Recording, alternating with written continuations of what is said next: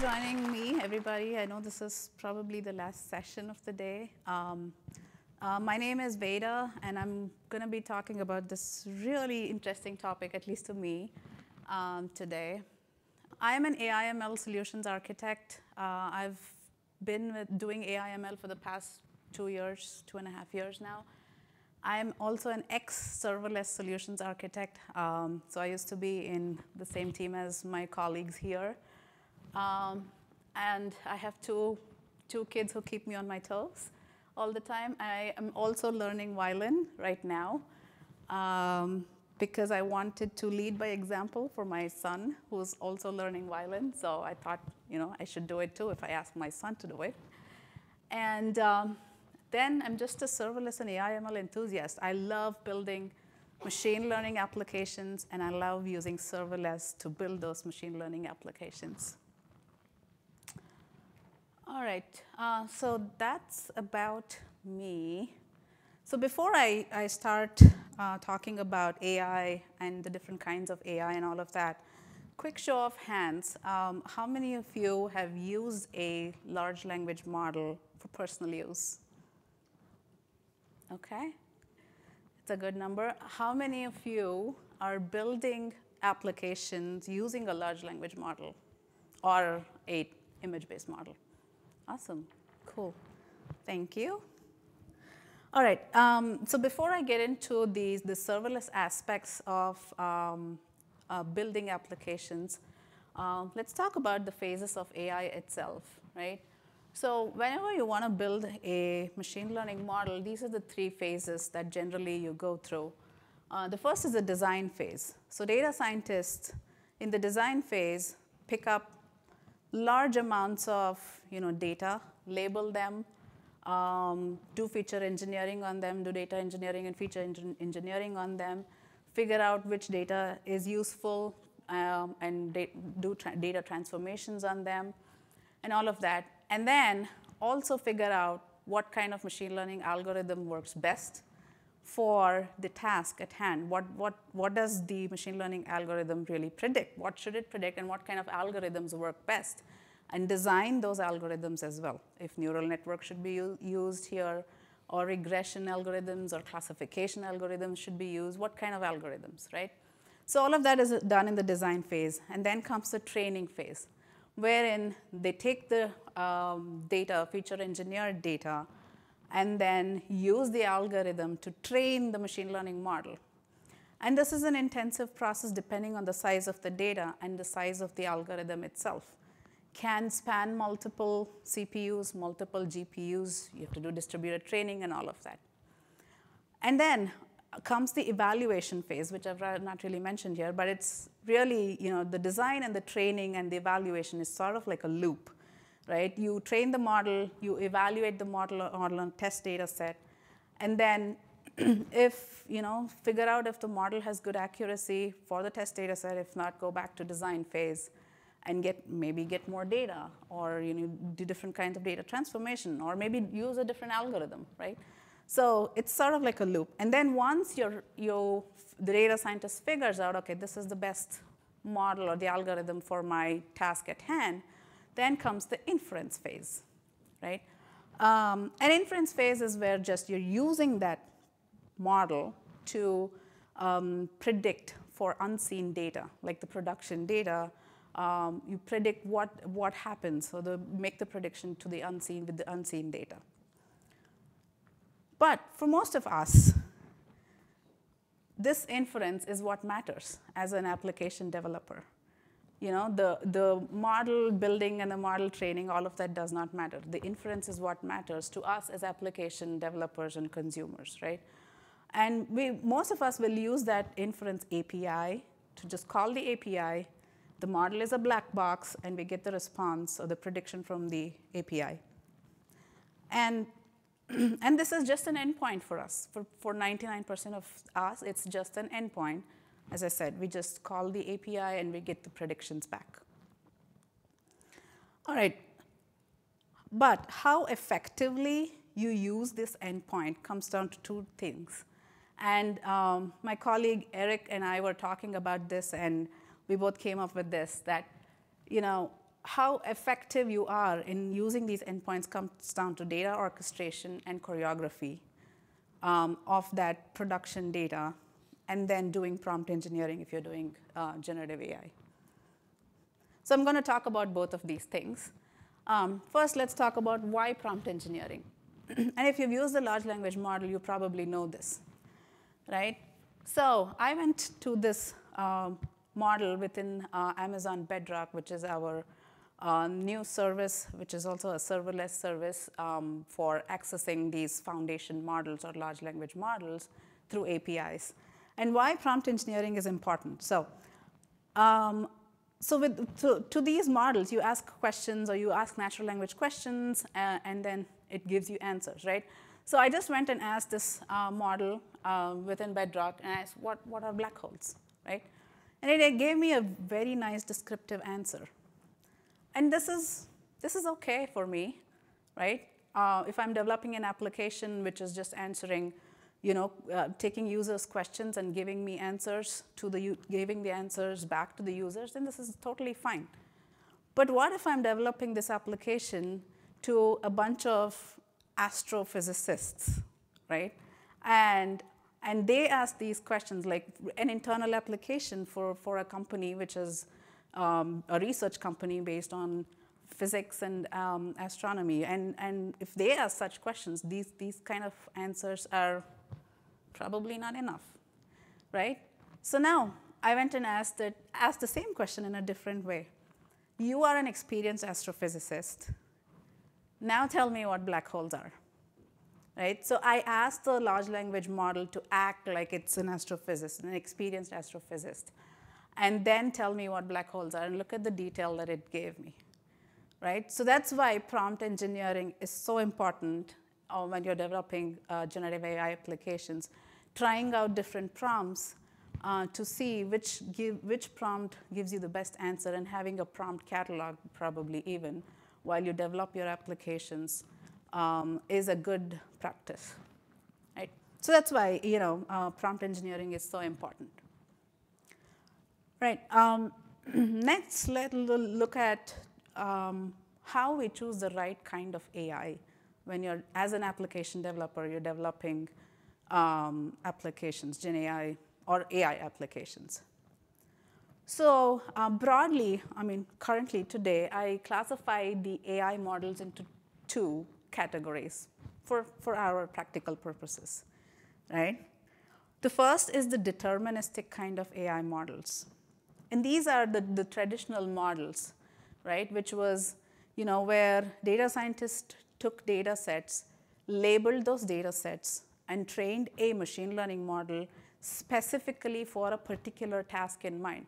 Say, for example, you wanted the machine learning model to classify documents, and so data, uh, data scientists would take labeled documents and provide the labels to the model, and the model would learn, okay, this kind of document means this is the label, and then now it's able to train on that labeled data set and then be and then can predict, okay, this is this kind of document, right?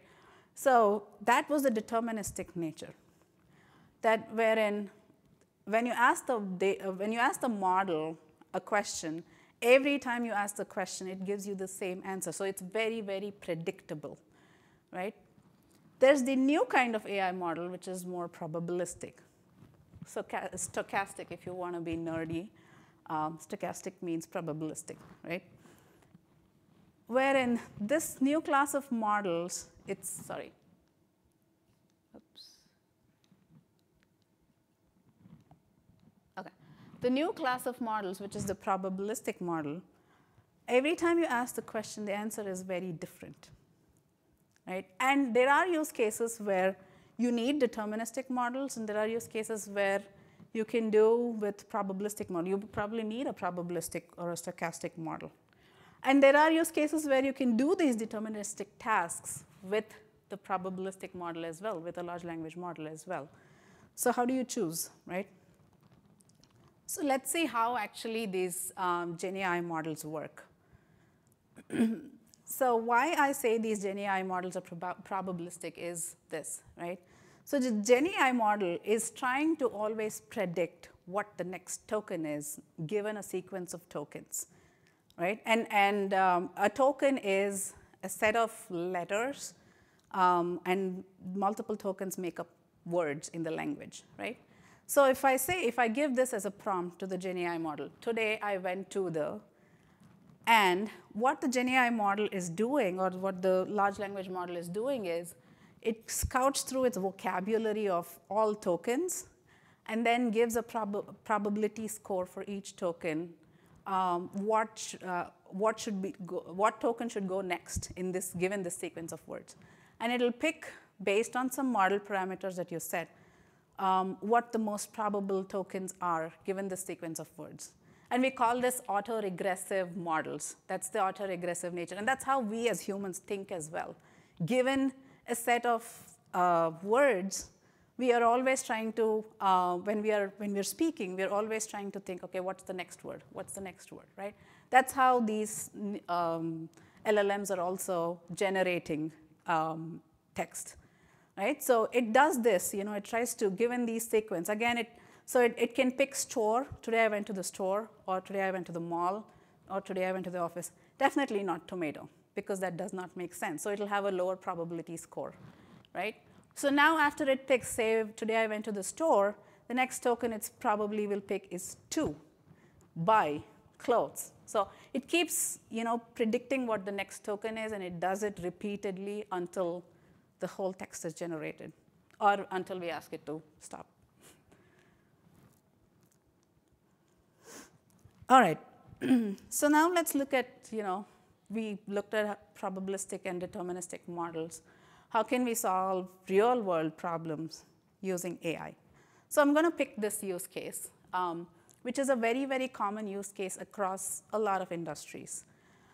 Transcribe um, uh, audio or video, and then extract the text out of that audio or video, and then summarize it, right? You want to create summary. Um, some examples of these use cases across the industries are, say, if you want to do, uh, you have medical transcriptions between um, a doctor and a patient, um, or you have medical reports that you want to extract the text out of it and then summarize it and put it in a database, right? um, the call center, right? You have conversations between the call center agent and the customer. You want to transcribe it, convert it to text, and summarize the call and maybe take downstream actions on those, right? Um, in the legal, in the financial domains, there are policy documents, financial documents that you want to summarize and store them off so that the downstream applications can use them. Video transcription as well, right? So across industries, this is a very common use case. And why is this important? Because data, useful information and data is stored in all of these non-referenceable and non-unsearchable formats. The scanned images, the audio recordings, or the PDF docs, it has a lot of data. And we want to make it searchable and use that in our applications to make business decisions, right? Let's see how we can uh, use AI to do this. So let's build an application um, to do that, to, to solve this problem. We want to get all of that information that's stored in unsearchable format and make it available to our applications. Um, so these are the requirements. Um, we want to convert the current format, which is audio, uh, into text. And uh, we want to be able to extract the text and then uh, summarize it and then save it to a database so that it's available um, for other applications. And what are the parameters for this application that I want to build? We want to be cost efficient, of course. Uh, we want it to be accurate. Um, the reason I say this because, you know, as you saw, the probabilistic models give me outputs. Every time I ask it to generate something, it gives me a completely different output. So we want to be accurate. Um, we want to be near real time or daily. As soon as the files are available, we want to kick off the process, right? Um, or at least, you know, do it on a daily basis, on a schedule basis. All right, so let's see how we can apply AI to this real world problem right? Um, so here are the services that um, I think potentially that could be used to, um, to solve this use case. The first service is Amazon Textract. Uh, Amazon Textract is an API-driven AI service which is able to extract text out of PDF documents, out of scanned images, right? It has deterministic AI models behind the service, um, which can extract, it's essentially an OCR technology, optical character recognition technology, which is able to text, extract text out of documents. So that works for me for PDF documents. The next service is Amazon Transcribe it, this is also another AI service which has deterministic models behind the scene, which is um, able to transcribe, convert my audio uh, to text. Give, take the audio format and then give me text. Right? So that works for my audio files, even video files, right? The next two services is Amazon Bedrock and Amazon SageMaker. Um, while Amazon Textract and Transcribe work for me to convert audio uh, to text or extract text from PDF, PDF documents, I need a probabilistic AI service or a probabilistic model which can summarize the text for me in a very succinct manner, right? Um, and I need to use a probabilistic model because it needs to do a, an abstractive summary, not really just extract what is there. It needs to be abstractive. It needs to rephrase. So we need a, the power of generative AI there. Um, so that's why we can either use Bedrock or SageMaker, right?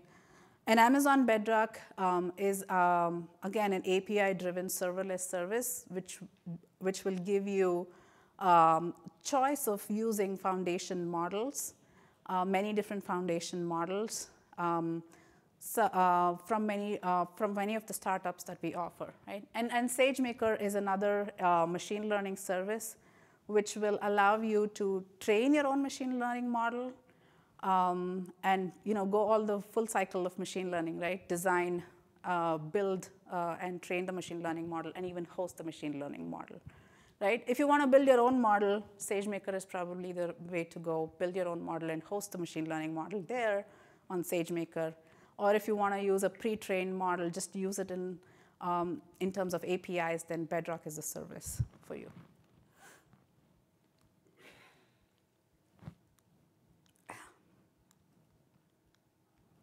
Just going to use this. OK. So just a little note on Amazon Bedrock. Um, what are the benefits? Um, because Bedrock is serverless and you can really test out several different foundation models using that single API that Bedrock provides, you know, um, it's really easy and um, to test out all of the foundation models without managing the infrastructure.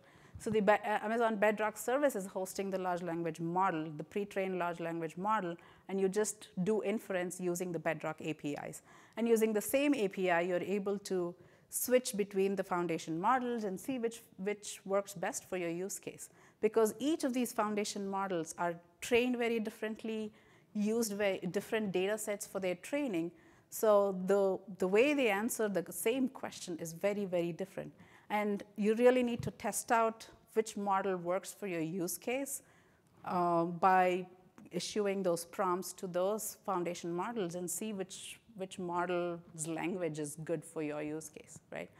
Um, so you can choose several foundation models. Um, from AI21 Labs, we have the Jurassic family of models, Anthropic um, Claude models, which is very, very popular.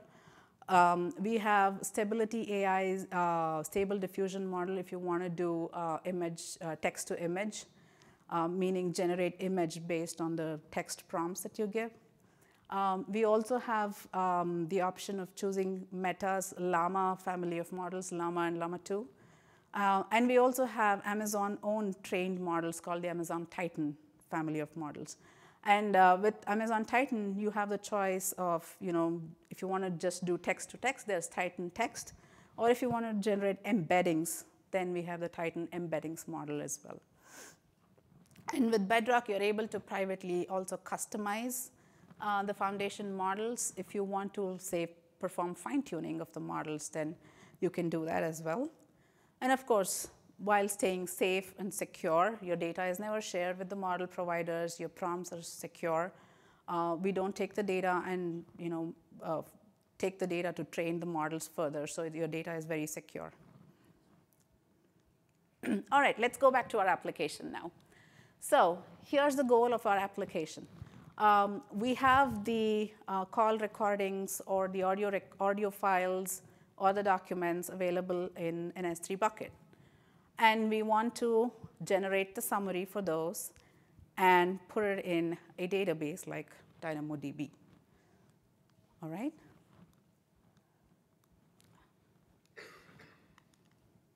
All right. So let's see how we can use our AI services to meet the requirements. So I said we want to use textract and transcribe, first of all, to extract. So our, our going after our requirements, so the first one was to convert the current format to text, right? And if the current format is an audio file, we can use Amazon Transcribe to first transcribe the audio to text. And then, or if it's a PDF document, then we can send it to Textract, and the Textract is able to uh, extract the text from that PDF or image document for us. Right? then the next requirement is we want to summarize the text. And as I said, we can use either Bedrock or Amazon SageMaker to do that. And um, how would you choose between Bedrock or SageMaker? Um, that would really depend on if you want to use the foundation model, if you don't want to manage the infrastructure, uh, but just use the pre-trained model through an API, then you would use Bedrock. But if you want to host the model yourself and manage the infrastructure and figure out, you know, um, uh, uh, which, which instance you want to host it on and all of that, then SageMaker is the way to go. Um, also, the choice of models uh, are different. So Bedrock has uh, certain uh, foundation models available. Um, but if you want to do like open source models from Hugging Face, then SageMaker has the um, the Hugging Face ecosystem. Uh, it is integrated with Hugging Face, where you can pick foundation models from Hugging Face, mostly open source models. And um, the next requirement is save the text to database. Um, we will use DynamoDB table. Again, DynamoDB um, is a NoSQL database and fits into our serverless nature of uh, building the application. All right, um, so let's see if we are um, staying within our parameters here, right? So what was our parameter? We want to be cost efficient. Um, and because we are using all API-driven um, services and serverless services, uh, you're going to be charged only when you use the APIs, right? So um, it's going to be cost efficient for you because you're not paying when you're not using the models. You're only paying when, when you send in the request to the models. And accuracy, right? We want it to be accurate with the right prompt engineering um, and you know, testing out the several different prompt engineering techniques, we can stay accurate. We can develop an, a very accurate summary of the document with the right prompt engineering techniques. And so Bedrock is going to help us do that. And the third requirement is we want to stay near real time, meaning as soon as the documents or the audio files are available, we want to kick off this process um, and have the summary ready in our table, right? Or we want to be able to do it on a daily basis or on a scheduled uh, basis. So how are we going to meet that? So, and also, you know, how, how are we going to meet that and also uh, pass this data, uh, data through these services so that the data is orchestrated, right? And how this data is orchestrated determines how fast the data is moving through these services, uh, but still staying cost efficient, right? So that's how why data orchestration is important, how we orchestrate data to move through these services to stay cost efficient determines how cost effective we are, right? So for that, I'm going to use AWS step functions. Um, step functions is, as you all probably know, is our low-code, no-code uh, visual workflow service, which helps me create um, IT automation workflows, machine learning workflows, uh, any kind of workflows that I need for my uh, applications. Right. So with step functions, I create the step function workflow, which gets invoked as soon as the items or the audio files or the PDF documents are loaded into my S3 bucket. I'm going to kick off a step function workflow. And that step function workflow is going to take me through the several different services. And finally, it's going to call the Bedrock API um, to um, give me the summary. And the good thing about step functions workflow is it has direct integration to all of these services, um, to Amazon Textract and Amazon Transcribed and to Amazon SageMaker and to DynamoDB. So you don't have to write a lot of code to make this happen. Right? You just design the workflow and use these direct SDK service integrations, and um, you have a workflow ready. Where you don't have direct service integration, for example, for Bedrock, you can use Lambda function for that compute to make that call to um, the service. You can also use Lambda functions if you want to do some small data transformation between these services as the data goes through these services. And again, Lambda is serverless event-driven compute, so it fits into our criteria of being cost effective. All right, so here's the full on-demand application. Um, so I don't know if you can see it well. So we start with, um, you know, your first, you start with, uh, you know, as soon as the uh, file is loaded into the S3 bucket, um, you determine the file type, if it's an audio or an image or a PDF document, right? And if it's an audio file, um, we, we take uh, the, the first path wherein we convert the audio to text using transcribe, and then we summarize the audio text using either SageMaker or Amazon Bedrock, and then we save the audio summary to DynamoDB table, right? But if it's a um, text-based file or if it's an image of a uh, document, um, then we can convert the image to text using Amazon um, Textract.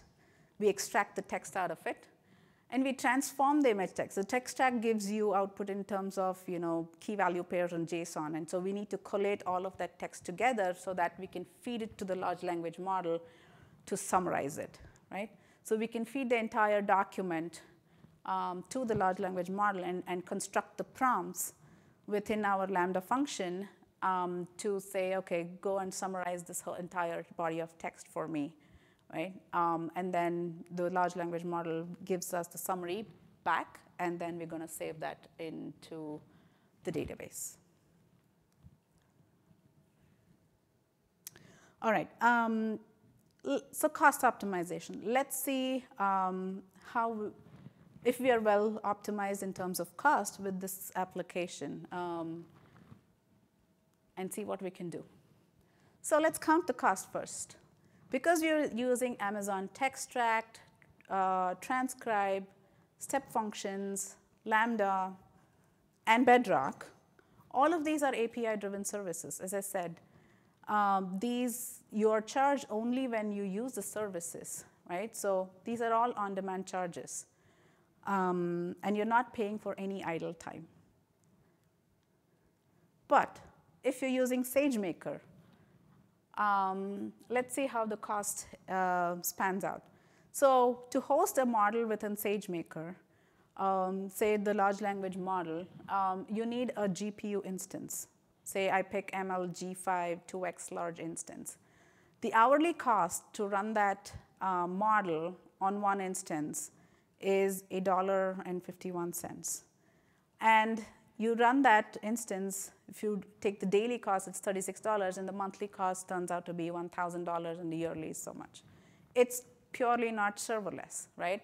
And if your traffic, depending on your traffic pattern, if your traffic pattern to make inferences, or if you want to generate the summaries maybe daily, right, on a scheduled basis, there's no reason you want to run this um, G5 instance, which is a GPU instance, all the time, 24/7, right? You just you're just um, it's not cost efficient at all for you, right? Or even if you have like a um, you know if you want to do near real time, and if your traffic is unpredictable, um, and if your traffic is bursty, I wouldn't want to keep my GPU instance running up and all the time 24/7, right? so let's see how we can make this SageMaker endpoint on demand. Let's make this serverless. Can we do it? Yes, we can. So what I'm going to do is take the current existing step function workflow that I built, and also because the step function workflow can integrate directly with SageMaker, I'm going to have an additional step where I create the SageMaker endpoint right? And bring it up first, insert my current workflow there, and then once the summary is generated, I'm going to shut it down, right? Using the same step function workflow. Now, wrapping up this entire application, so this is how it's, um, it looks. So I'm going to first create the SageMaker endpoint configuration, um, and then then create the endpoint itself, and then wait for the endpoint to come up, right? Um, so I'm going to have a loop there, so and keep checking if the endpoint came up, and then once the endpoint is in service, then I'm going to take this workflow, the entire workflow, and run it, right? And then I'm going to then shut down the endpoint and delete the endpoint. This is extremely cost efficient now um, especially when you have a scheduled um, run, right? So let's see the costs now. Okay, so here's the full schedule application, right, in the step functions workflow. And um, I can also use a distributed step function distributed map now to process all of the files in parallel. Well, well in, in my previous workflow, I, had, I used to invoke this for every file that was um, ingested. But now I can take the distributed map functionality with, uh, within, Sage, uh, within step functions and then run it in parallel for all of the, run the same set of processes, which is uh, extract the text from the image, transform it, summarize it, and store it in the database for all of the files that were dropped in my S3 bucket in parallel and then shut down the endpoint.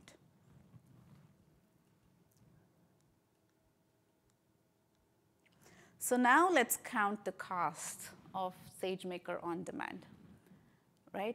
So now because I am creating the endpoint and shutting down on demand, my monthly cost for assuming low traffic, fairly low traffic, is reduced from $1,000 to $45, right? So um, with, the, with SageMaker, uh, with step functions, I'm able to convert my um, SageMaker endpoint to an on-demand serverless endpoint. And that's like 93, 96% yearly savings for me. All right, so here are the results, right? Um, so we, we actually created this application and um, ran a surgical pathology report um, and um, you know, extracted the text using Textract and then took all of the extracted text and um, sent it to um, a large language model which was hosted in SageMaker. And that was a summary um, which it uh, gave us, right? And this is the summary that I'm going to be storing in the database and use it for my downstream um, applications. So um, what are the key takeaways from this? Oops, sorry. So for most of us, AI is just as simple as an endpoint. Um, unless you're a data scientist, you're not going to be training models, and more so in the in the space of generative AI, we are going to be using pre-trained models. It is an endpoint. The way we develop applications will change, will differ because we are now looking at how to do prompt engineering, how to test those prompts, um, and, and all of those things. And um, use the best model for the job. There are plenty of AI models out there. Um, choosing if you want to do a gener- if you want to use a generative AI model or a uh, predictive model is important for the use case. And also in, in this space, there are lots of models out there, lots of uh, options for you. Figure out, choose, you have to test and figure out which model works best for this use case at hand, um, and then choose that model, right? Um, and optimize the cost through model availability. Uh, some of these models, again, you know, the, the model that you choose might be available within Bedrock or within SageMaker, or you have to host the model. So optimize that cost. You know, if you're using a SageMaker-based model, then as I said, you can use step functions to make it more cost optimal for you. Um, it, it's the cost going to be even more when you you know, scale it out, right? Say, for example, you have lots of files dropping into those S3 buckets. Now you need more instances of that large language model to be available. The costs are going to significantly add up. So optimizing um, those costs uh, is also important, right? And finally, use managed services like step functions and Lambda and Bedrock and EventBridge to orchestrate your data to and from this model endpoint so that you're being cost effective, uh, you're not paying for idle time, um, and you are more agile in building your applications. This, these are like low code, no code solutions. So um, you can quick build applications quickly and iterate on building those applications really quickly. All right, and uh, with that, here's more information if you want to um, get information about patterns and um, several different serverless patterns. The serverlessland.com is um, a good place to start. And thank you.